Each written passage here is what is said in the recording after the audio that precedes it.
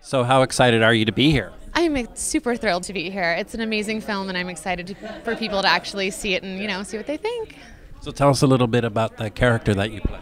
Um, I'm the role of Cynthia, and I guess I would say she is kind of the one that connects it all. I've dated Nolan's character and James Deen's character, and I kind of throw a wrench into the mix, you know, try to get James to leave Lindsay for Moi, and uh, the drama ensues. So was there any improvisation on the, or, or a lot of rehearsal? No, I mean definitely.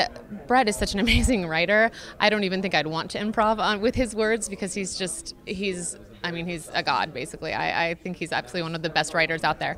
So it wasn't a lot of improv. You know, we had a nice table read, and then it was just very natural. And Paul let us kind of do our thing as well. So it was a really great open environment to work in.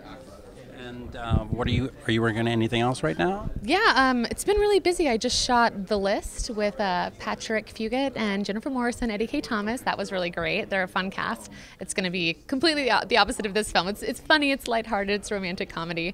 Um, and then I just produced my first feature called Two Bedroom One Bath. Actually, the director and one of the other producers is here with me today, so we're just pushing that right out now. Stars Alexa Vega and Spencer Grammer, so lots of good stuff. Are you going to be doing the festival circuit with it? Um, we haven't decided yet. Right now, we're just going to kind of put it out there and see if we get any little nibbles, and then possibly hit festivals. We'll see.